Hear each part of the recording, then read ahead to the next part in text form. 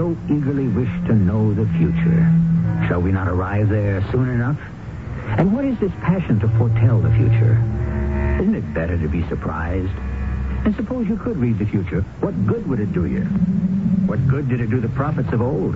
Who listened to them? Sahib! Sahib, I have seen her. Seen who? The Mem Sahib. I have seen her. You have seen my wife? She appeared to me on the road.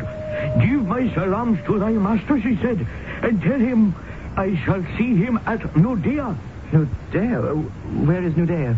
She says that thou shalt find it at the proper time. But my wife. My wife is dead.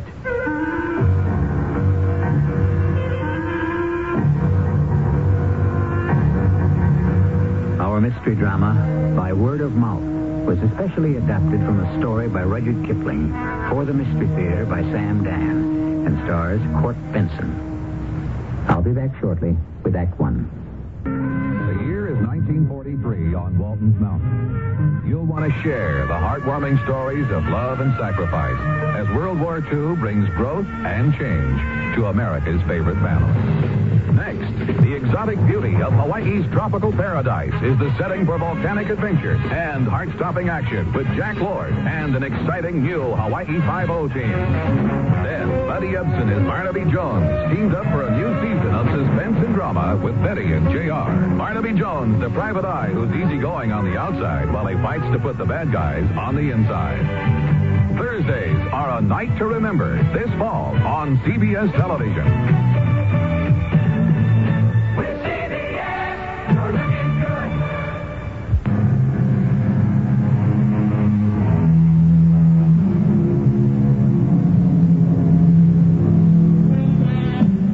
Men are killed by overwork than the importance of the world justifies, said Mr. Rudyard Kipling, who was no stranger to overwork himself.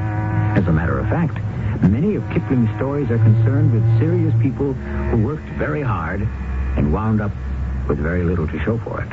Here's one of them. It shall be narrated in the words of the master himself.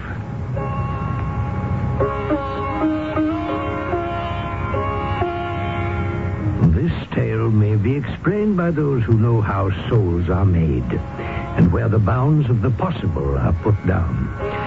I have lived long enough in India to know that it is best to know nothing, and I can only write the story as it happened.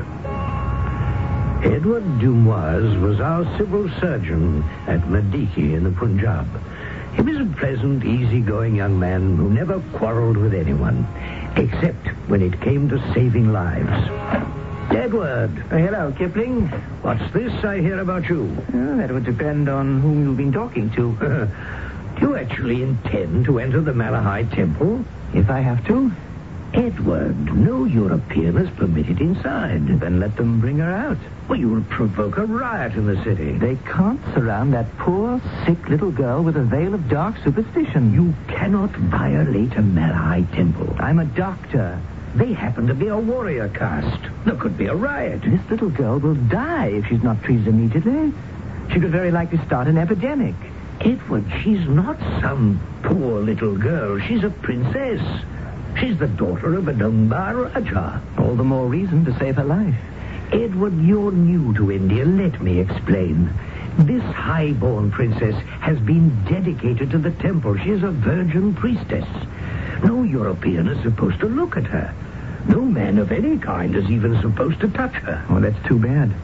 Because the fact is, I do have to look at her, and I do have to touch her. And I'll do it as modestly and respectfully as I can. No, their law says you can't. Would they rather she died? Yes, but that's too simple an answer. Why? Doesn't it state the fact? The fact, yes. The idea, no. Her illness has been cast on her by all the gods and goddesses who make up the pantheon of the Malahai religion. It is their will that she die. Well, why? What did she do? Oh, perhaps her beauty excited the envy of a jealous goddess. Who knows? I do. And so do you. She most likely drank some polluted water. Edward, the colonel has asked me to use persuasion. I'm a civil servant. The colonel has no rights. The colonel is thinking of the overall situation. Kipling, if you have your carriage outside, Could you give me a lift to the temple?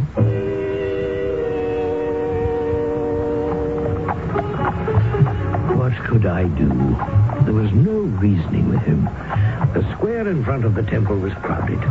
Word had spread that the Inglesi doctor intended to cure the virgin priestess.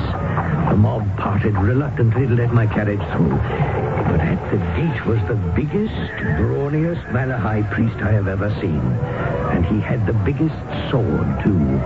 What do you here, unbeliever? Why do you call me an unbeliever? I believe the same things you do. That God is good, God is great, and that all of us are his children. Go pray in your own temple. Am I not welcome to pray in yours? No, Why? because you are an unbeliever. Uh, we're back to that. The, uh, the great lady of your temple is ill. She will die. If it is the will of Malahai, Think you so? I say it is the will of evil devils in the water. how dare you blaspheme against the Malahai? If I have blasphemed against him, let him strike me down. Well, why does the ground still remain firm beneath my feet? Why does the earth not swallow me up? Priest, open the temple gate. We shall enter. Do not try my patience, priest. I said open the gate. You within, open the gate.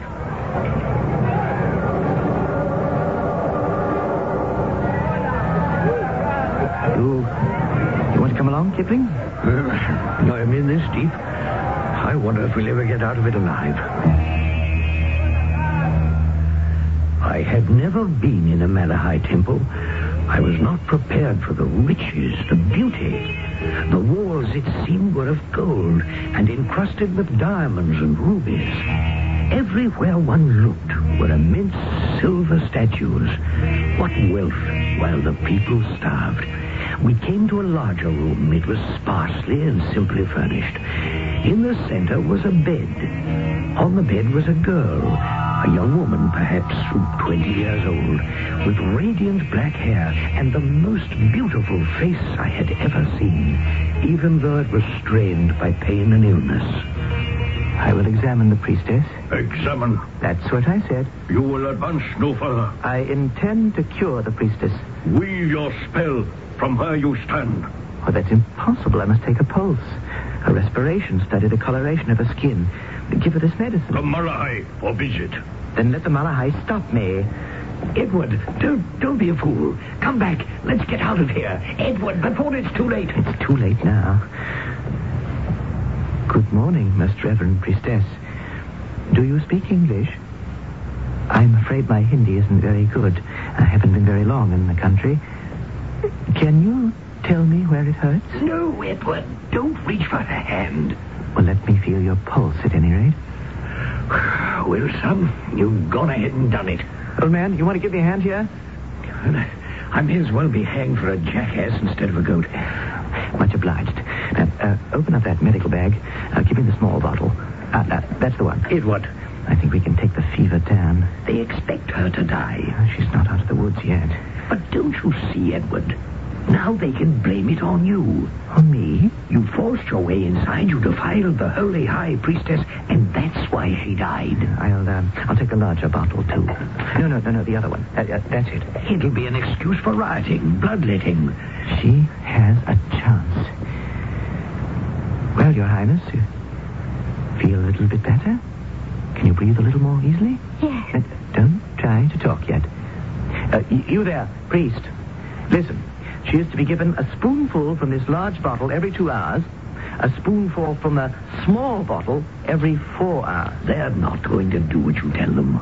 But they have to. Do you think they would would dare to touch any of your medicines? Well, if they won't take care of her, I'll just have to do it myself. And he did. He stayed three days in that temple and nursed her round the clock. On the fourth day, he staggered out of there and into my waiting carriage. She's going to be all right. She's going to live. She is? Yes. The fever's down. True color is back. She has an appetite. Yes, she's a healthy young lady again. Uh, How long do you think she'll live, Edward? Uh, I don't know what the life expectancy is in India, Kipling, but uh, for a young woman of her rank and position, Well, I would say she might expect to live about a week. What did you say? She's been defiled by your touch. But I cured her. And since she's been defiled, she will be turned out of the temple. Her family also will cast her out. No one will have anything to do with her. But this... This is... This is the way it is. They will actually turn her out into the street? Yes. I find that impossible to believe. In India, find nothing impossible to believe. She'll be lucky if they don't stone her to death. It's my fault. Not really. If you hadn't treated her, she'd have died in any case. What's that? They're going to open the temple gate. That's her. The priestess. The former priestess. What's going to happen? I told you what was going to happen. People of the city, behold the priestess who is priestess no longer, defiled and polluted by the eyes and the hands of the unbelievers. Behold one who is already dead. In her is no longer the spirit of life, but the evil demons that are part of the black magic of the infidels. You, Lala, daughter of kings, princess and priestess no longer. Be gone from us. Let no true believer give her food or drink or shelter, for this will only strengthen the evil demons within her. Be gone, Lala. Be gone. What are we going to do? I shall speak to the regimental chaplain. Father Victor's a good sort. He arranged to have her sent to a school for native girls somewhere far from here. No. But it's the best we can do for her. Is it? At this time and in this place, realistically, yes. No. We can do better than that. Where are you going? It was obvious.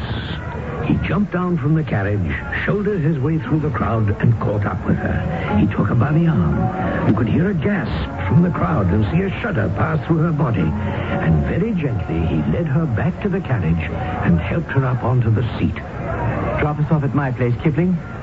She'll stay with me. Edward, do you know what you're doing. Some weeks went by. I forgot about Edward. After all, I had a newspaper to get out. But I was starting to hear rumors, rumors I simply couldn't credit. Finally, Mrs. Hauksbee came into the office. Mrs. Hauksbee, our social arbiter, who knew everything about everyone. Mr. Kipling, I'll come right to the point. Whatever are we going to do about Edward Dumoise? Well, do we have to do anything, dear Mrs. Hauksbee? Dear Mr. Kipling, he's a most promising young man, an exceptional surgeon. He must not be permitted to throw away his chances for a brilliant career. He'll be ostracized. The girl is living in his house, but that doesn't necessarily mean that there is any uh, improper conduct between them. Unfortunately, that's true. He simply cannot marry a native girl. Marry? Who said anything about marriage? He has already asked Father Victor to perform the ceremony. Well, it, it's impossible. Weren't you the one who told me that nothing is impossible in India? Yes. He wants to marry her?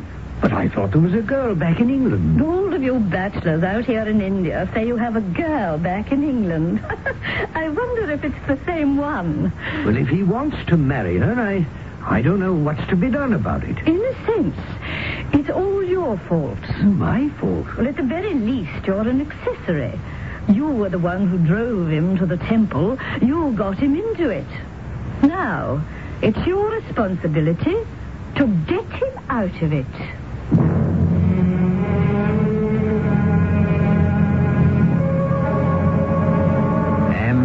Even before you have a chance to prepare your defense, you discover, as Mr. Kipling did, that the jury has already returned with the verdict. What they probably want him to do is to talk with Dr. Edward Dumoise, something he's already done before with very little success. Well, he gets another chance at it in Act Two.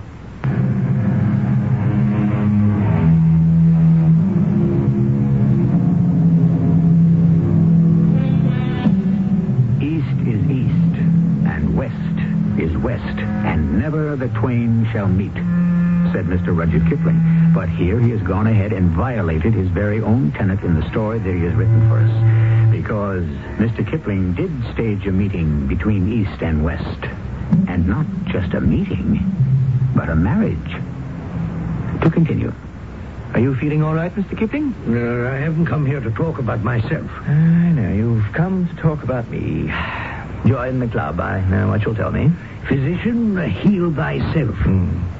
From what disease? From the worst disease a young man can catch nonconformity. Edward, you're sacrificing your prospects for a career. I'm not concerned with a career. All I want to do is practice medicine. And that's all you will do for the rest of your life. But isn't that exactly what I was trained to do?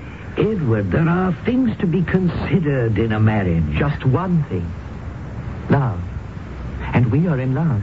Ah, love. She's beautiful, Kipling, the most beautiful woman in the world. And I agree, but this is India. Why does everyone keep saying this is India? This is India. Why are things different in India? She's beautiful now, Edward. Ravishing. But it doesn't last long. They bloom early, these lovely Indian blossoms, and they wither early. Well, she'll be 30 and she'll look like 60. Scrawny and bony, or else fat and squat. Why, excuse me, I'm, I'm, I'm, I'm only stating the conventional wisdom. Beauty is in the eye of the beholder. And her beauty is fixed in my eye forever. Have you uh, stated your case, or is there anything else you might care to add? Hmm? The rules could be bent a bit, perhaps, because she is, after all, a princess. And the very word royalty is enough to throw sand in the eyes of any proper Englishman. But she's an outcast. I know all your arguments, and I'm sure you know all my answers in advance. So, why not join me in a toast for the bride? Hey there, Singh, two whiskey pegs now. Uh, but that's another thing. How do you manage to keep a native servant? Oh, Rotan Singh is a Sikh. He doesn't hold with this Malahai sort of thing. Besides, he adores her. Fairly worships her, as a matter of fact. Are you sure you, you're not being seduced by this romantic, youthful conceit of two against the world? I was hoping we could be five. Five? Yes, oh, oh uh, thank you, Rotan Uh, Mr. Kipling likes his without... Oh, I see, you know. Um, how is the princess? She rests, and the world must stand still until the heaven-born awakes. Which is as it should be. Uh, thank you, Singh. You may go. Um, you, you said you hoped we would be five? Yes, um, Lal and I, that's two. Father Victor, who will perform the ceremony, that's three. Singh, who approves completely, makes four. And I was hoping uh, you would stand up for me. Oh.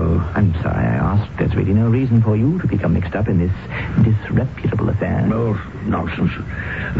I'm, I'm considered somewhat disreputable myself. After all, I'm a writer, you know. to the bride. To the bride. And so they were married. As they say in a million stories, including quite a few of my own. If I had thought she was beautiful when I had seen her lying ill in the temple, she was positively radiant at her wedding. And each day, if possible, she grew fairer. She was seen only on rare intervals when she would ride in her carriage driven by the faithful Routon. And men would stop to stare at her and women to sigh. And everyone was wrong about Edward's being cast out of society.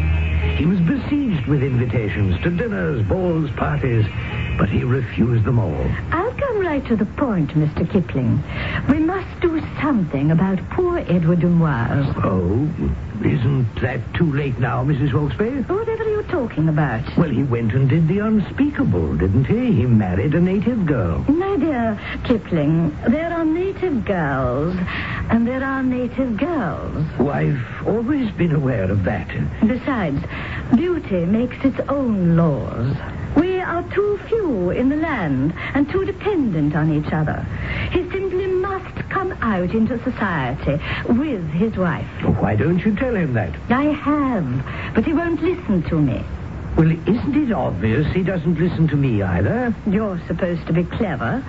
Can't you think of something? Mm. But I thought I would become an outcast, a pariah. Or so all my good friends took such great pains to tell me. What can we do with the world? Take it as we find it. Now, you, you must get out more. It isn't fair to Lala. Lala is quite content to remain at home. Well, then it isn't fair to you. But I don't care to go out. I have another life now. But of course you do. You're a married man. But that doesn't mean that, that nothing, no one else exists. Nothing and no one exists for me but Lala. Oh, dear. You, you must also live in the world. We have a world of our own. I never dreamed such a world could exist. I come home. It's as if I'm transported to another planet. A strange and wonderful place. I don't want to leave it. I don't want to leave her. Oh, we're so happy, Kipling. So happy. It was a marriage that was first sung in heaven and brought down to earth in perfect harmony. Of course, protocol demanded that they give the occasional dinner party, but these were few and far between. To visit their house on these rare occasions was a treat for the heart. She was radiant. Well, you're waiting for the serpent to enter this Garden of Eden, and I shall not disappoint you. One day, she fell ill. Is Dr. Maitland still up at Simla? Maitland, uh, what month is it? April. Well, he usually goes on a hunting holiday. We could send someone to the hills to rout him out. I don't know what to make of it. She has a fever that simply won't go down. I've tried everything. Well, can you consult with anyone else? Maitland's the man for this sort of thing. Hmm. Oh, we could telegraph Simla and ask them we if... don't have that much time. Oh, I didn't know it was that serious. Well, neither did I till this morning. Kipling, if anything should happen, I, I just don't know what I shall do. Mind if I come in? Oh, Strickland. No, no, by all means. I hope I'm not interrupting anything. No, not at all, not at all. Just getting ready to close up shop and pop over to see Edward Dumoise. How are things in the police department? That's why I'm here. In my official capacity. Uh, I've got Roshan Singh in custody. What? You've arrested him? Why? What's he done? He took after the high priest of the Malahai temple with a knife. Good. Fortunate thing, a few of my constables were nearby, else he would have killed the fellow. It would be a rope for sure. Well, do do you know why he did it? Yes, he, he claims that the Malahai have cast a spell, a death spell on Lala. It can only be removed by the blood of their high priest. Do you believe this nonsense? What, what shall you do with him? I don't want to bother Edward at a time like this. I can release what I'm seeing in the custody of a responsible person. Are you willing? Oh, well, well, of course, of course. Poor Edward. You think she's going to die? Well, don't you? It's all too beautiful, too perfect. And the gods are too jealous. The gods. You know what, Strickland? I think you and I have been in India too long.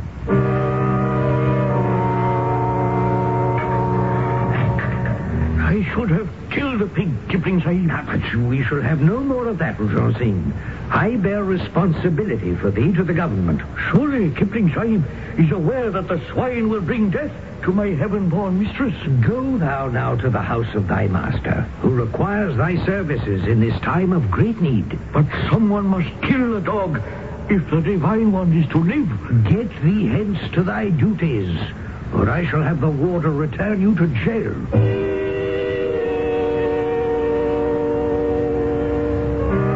Sit amongst the miracles of the 19th century the telephone, the telegraph, the incandescent lamp, the railroad, the steamboat. And to the average native here in India, these things are all works of magic. And yet there is another magic here in this ancient land. A magic that controls the mind, the body, life and death. I was tempted to go to the Malahai priest and ask him, or bribe him, to remove the spell. the spell. Listen to what I'm saying. But of course that wouldn't do. I went instead to Edward's house. I think she's better. Look, there, there's more color. She. No. No, she's worse. I know she's worse. Try to be calm, Edward. How can I be calm? I'm helpless. I'm, I'm supposed to be a doctor, but I, I can't find anything wrong with her. She, she keeps getting weaker and weaker. Why? It could be some germ we know nothing about. Edward. Edward. Darling, darling, don't try to speak. I must speak. I. I am being punished. Punished? Oh, my sweet, innocent darling. What did you ever do to deserve punishment? I.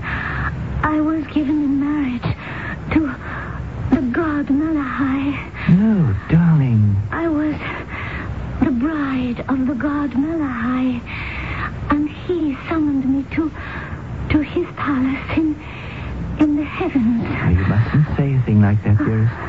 And so I lay there on my deathbed in the temple, waiting for him.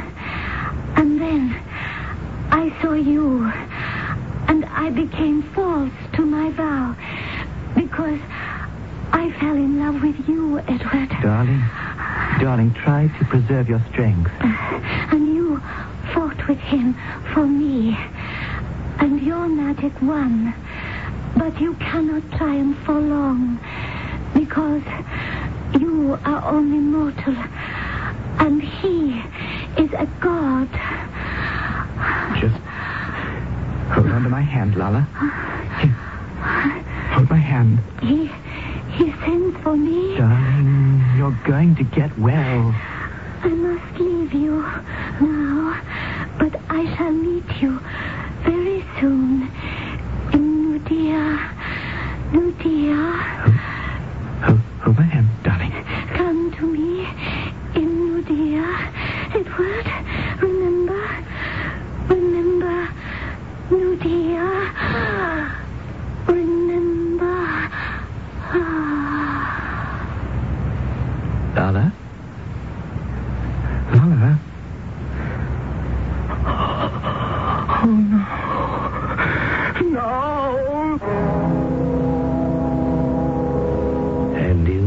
moment she was gone. The deep and sparkling black eyes were now closed forever. I felt that a certain irreplaceable beauty had vanished from the land. I shall meet you in Nuddea. Where and what is Nuddea? At any rate, how can they meet if she's dead? Well, who says it has to be a meeting in the traditional sense? You know us. We have all kinds of meetings. And we shall all meet here shortly for the third act.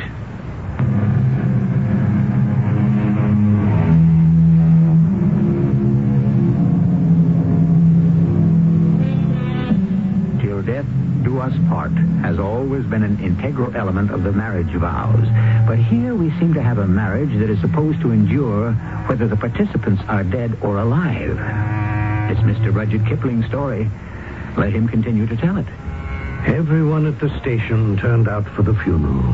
Poor Edward. He broke down utterly at the brink of the grave and had to be taken away. After a while, he went back to work. He did his usual competent job, but he refused to be comforted. He obviously needed a vacation and a change of scene. I tried to convince him to take one. I don't feel like going on leave. But do you the world of good, Edward? There's no good left in this world for me.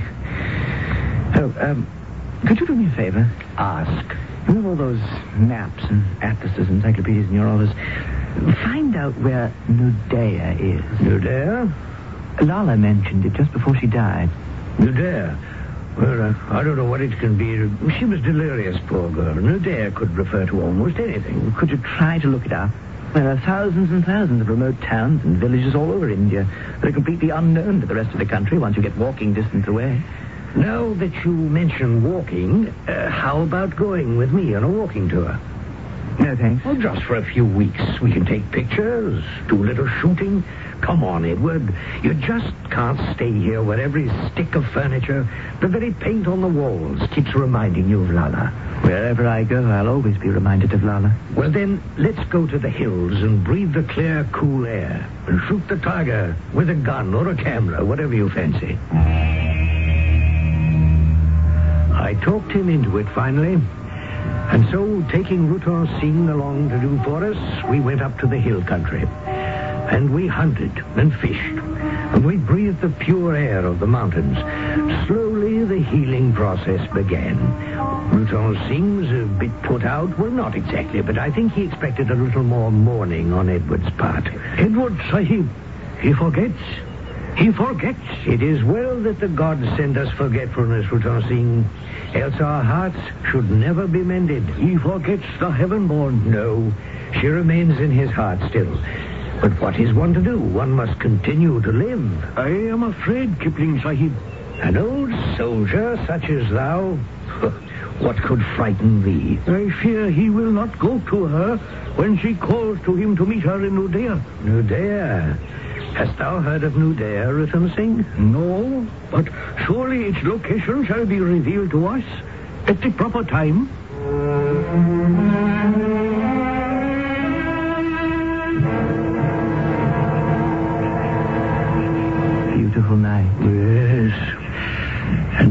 Peaceful. Is it? Really? Listen. How quiet. On the surface. There's no peace in India, Kipling. And you know it. We're a handful. And we rule over hundreds of millions. Underneath, you can sense her seething. Hmm. One day they'll rise up against us. Drive us out of the land. Hmm, Perhaps. You doubt it. Neither of us may live to see it. We must prepare them for that day, Kipling. So that when we are tossed out of this country, they shall be able to rule themselves decently. Hmm. I understand. You're closer to these things than I am. Are we preparing them? On the whole, yes. There are those who believe we could be doing more. I don't know. We must drive out these base and ignorant superstitions. My wife, you only saw beauty in her, but there was more. There was a woman of remarkable intelligence. And yet, you heard her on her deathbed. Yes. She devoutly believed that she was betrothed to a god. That he sent for her. You know, while she spoke those words, I believed it too. So did I. And how long have we been away? I don't know. Um, I seem to have lost track of the calendar. But that's a sign we're having a good time, isn't it? Yes, we are. But it's over. I have to go back to work. I have sick bodies to look after. And sick minds. He seemed to have changed from a boyish, pleasant, happy-go-lucky chap to a mature man of serious purpose. He said his work would be a monument to his dead wife. And the best way to mourn her would be to help liberate her country. One night, we were sitting on his veranda when we saw a man running toward the house. Why, it's Rutan Singh. Oh, impossible. I never saw him like that. Why, you're right. Sahib! Sahib! What is it, Rutan Singh? Why dost thou run like the Nilgai that is being chased by the tiger? Oh, Sahib! The man appears frightened out of his wits. What is it? I, I have seen the heaven-born. Thou hast... What? I have seen the man, Sahib. Thou hast seen her in a dream. Nay, on the road, Where? near the village. She was standing by the side of the road. She was wearing the blue dress. She lifted the veil of her bonnet. Rutan Singh, she said, give my salams to the Sahib and tell him I shall meet him next month at Nuddea. Where? Nuddea. Yes. Then uh, uh, what did you do? And I ran away because I was afraid, Sahib. Uh, uh, go now inside. Ha- have something to eat. But I saw the heavenborn. The Sahib must believe me. I believe you. I see her myself every day, every night. Always. Now, now go inside. Eat. Rest. I will do as the slave commands. You see how much work we have to do with these people, Kipling? Only with these people, Edward? Hmm. And ourselves. Kipling, Sahib. Come in, Rutan Singh. Sahib, I have seen the heaven-born. What, again? Even so, Well, hast, hast thou spoken of it to thy master? no. And why not? the heaven-born appeared to me again in the proud fields behind the house. And again she said, Rutan Singh, give my salams to thy master and say to him that tomorrow I shall send for him to meet me in Nuddea. Tomorrow. Even so, Sahib. But I fear greatly to say this to my master Why? because he will go to her. Well, it seems to me that only a short time ago thou wast afraid he would not go to her. That was when I was blinded by my grief. And now? Now I know he will go to his death. And he must not. He is needed here. We have so many sick, so many, and he must heal them. Therefore, I shall not give him the message from the heaven-born.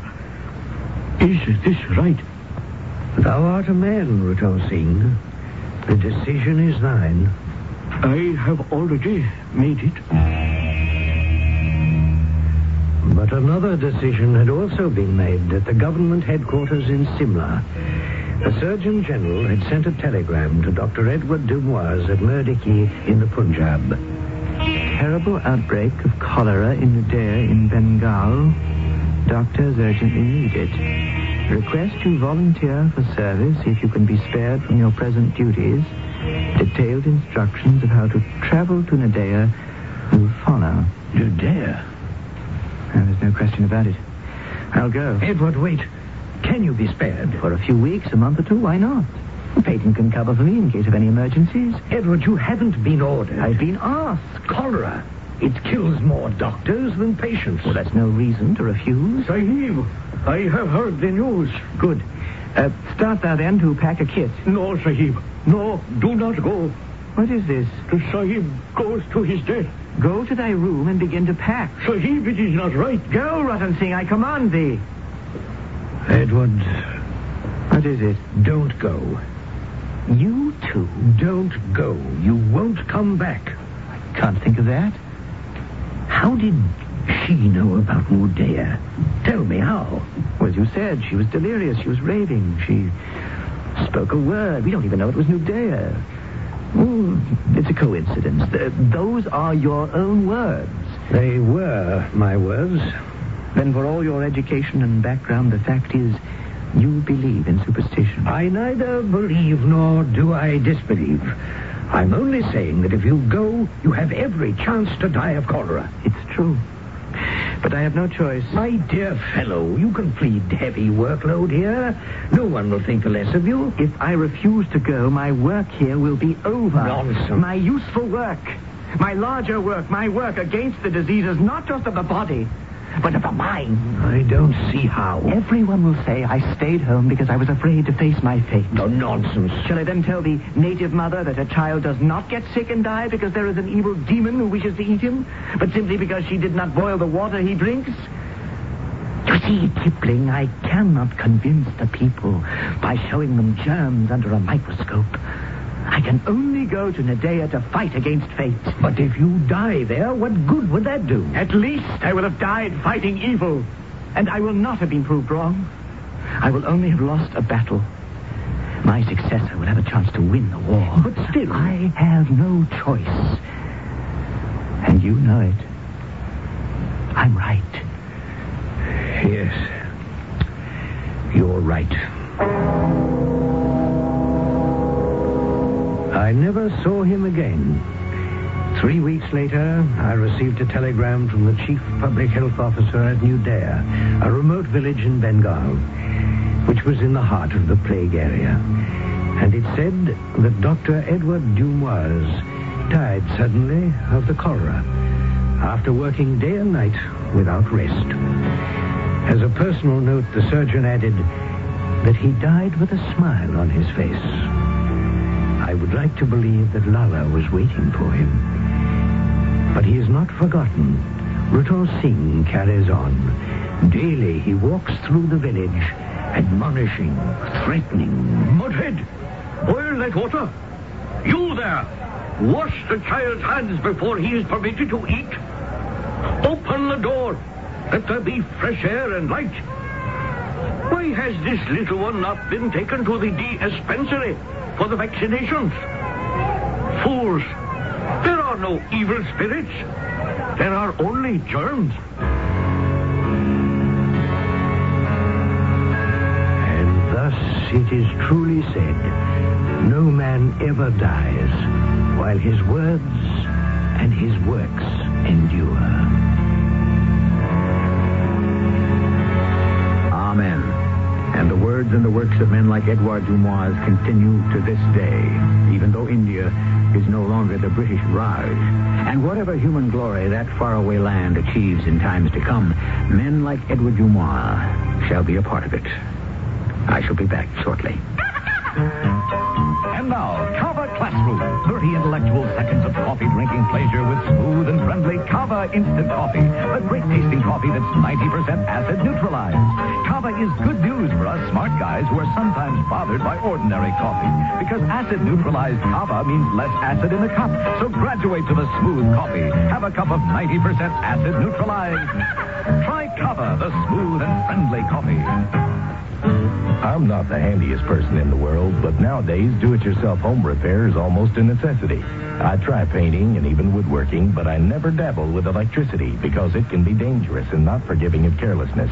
Yes, Americans are learning how to do more with their hands, and hopefully are not forgetting some of the old rules, like never mixing water and electricity, and using only a qualified electrician to work on house wiring. A public service announcement from Underwriters Laboratories in this station.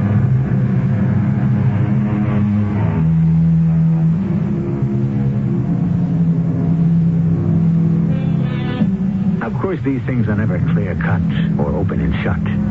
Did Dr. Dumoise go because he felt he had to fight the demons of superstition? Or did he go because he wanted to see his beloved Lala? That depends on you. Because it depends on what kind of story you want. If you're looking for a tale of heroism and dedication, you can choose the first interpretation. If you want a tale of romantic love that endures beyond the grave, you may use the second. You see, with us, you can have it both ways. Our cast included Court Benson, Carol Teitel, William Griffis, and Russell Horton. The entire production was under the direction of Himan Brown. And now, a preview of our next tale. I'll get a lawyer. You can't get away with this. You're mad. You may need a lawyer. What are you doing? What's that you're taking out of your pocket? Uh, just some very strong bandages, my dear. Unless you want to get the beating of your life, you will do exactly as you're told. Oh, don't. You're hurting me. I need to know where you are and what you're up to for the next 24 hours. That's why I'm Oh. tying you up and why I shall lock you in. And let me warn you, you can scream, but all you'll cause is a scandal. So I advise you to keep quiet until I return. Oh. There. Is that tight enough? Oh, um, do you see this revolver? Oh, no. Yes, I agree with you. I'd rather keep it in my pocket than use it. Mrs. E.G. Marshall inviting you to return to our Mystery Theater for another adventure in the macabre. Until next time, pleasant dreams.